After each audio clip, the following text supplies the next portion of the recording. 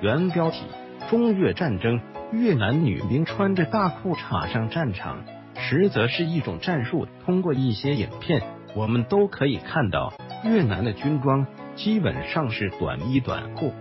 有人认为，这是因为越南所在的地区属于热带地区，所以决定了他们的军装设计成这样。气候确实是造成他们这样穿着的一个原因。不过，男人这样穿着不奇怪。至于女人这样穿着上战场，确实不怎么样。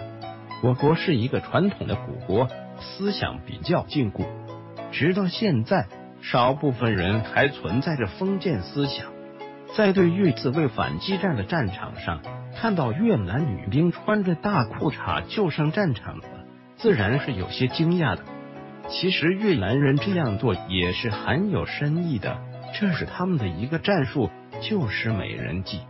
越南人在和我军交战的时候，越南女兵冲在前面，我军战士因为怜香惜玉，没有开枪射击。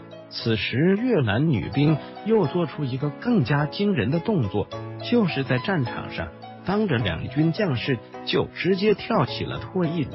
这是什么鬼？我军战士大部分都是平民百姓，哪里见过这种阵势？看到越南女兵的动作，只能赶紧将头转向一边。而此时，越南男兵就向我军战士开枪射击，我军战士完全成为越南人的活靶子。一九七九年二月二十一日，我军在一个叫做彭晒的小寨子和越南人爆发战斗。这里的地形较为复杂。多为悬崖峭壁，我军战士无法进行配合作战，只能各自为战。在这场战斗中，我军的一个战士不幸成为越军的俘虏，后来被我军战士救出来。据这名战士自己所说，他是被一群越南女兵俘虏，而这群女兵却是一群文艺兵，本来是要来这里进行慰问演出的，但是他们还没有和守军取得联系。就被我军的炮火隔离。看到这里在战斗，这群女兵只能赶紧找地方躲藏，正好和我军这名受伤的战士躲在了一起。然后他们仗着人多，将这名战士俘虏了。这名年轻的战士令这群女兵着迷，常年生活在女多男少地军营，让这群女兵着迷于这名战士，就开始诱惑他。但这名战士内心坚定，抵住了诱惑。